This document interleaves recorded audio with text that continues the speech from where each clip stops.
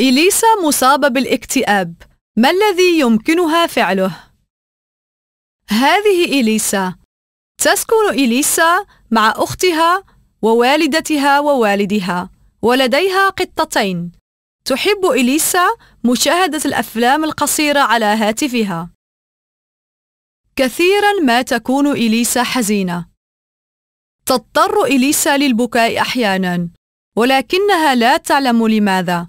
ولا يمكنها فعل شيء حيال ذلك. لا تستطيع إليسا النوم في المساء. تفكر إليسا كثيرا. إن رأسها ممتلئ. إليسا متعبة كل يوم وهي لا تريد الأكل. وليست لديها رغبة في المدرسة. تتضايق مريم من ذلك. يشعر كل شخص أحيانا بأنه حزين. لكن إليسا تشعر بالحزن منذ فترة طويلة.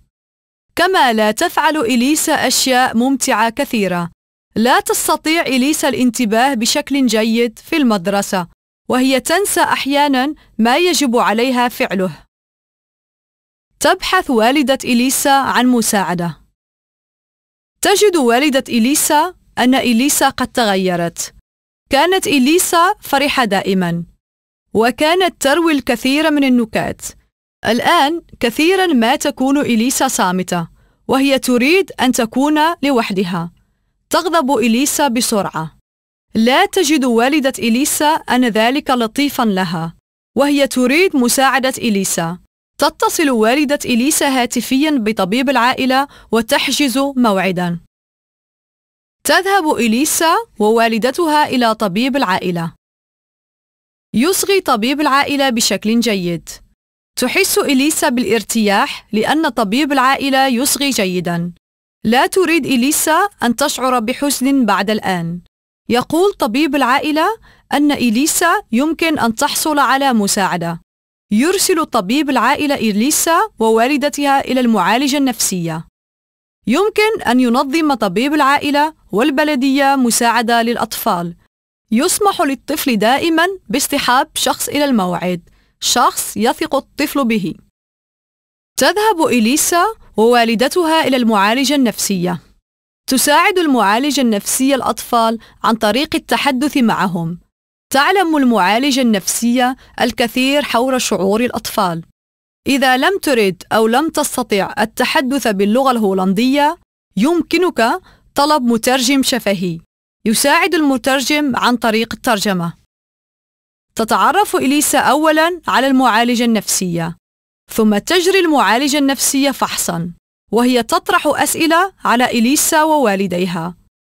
وذلك لكي ترى ما هي المشاكل الموجودة لدى إليسا. ثم ستساعد المعالجة النفسية إليسا.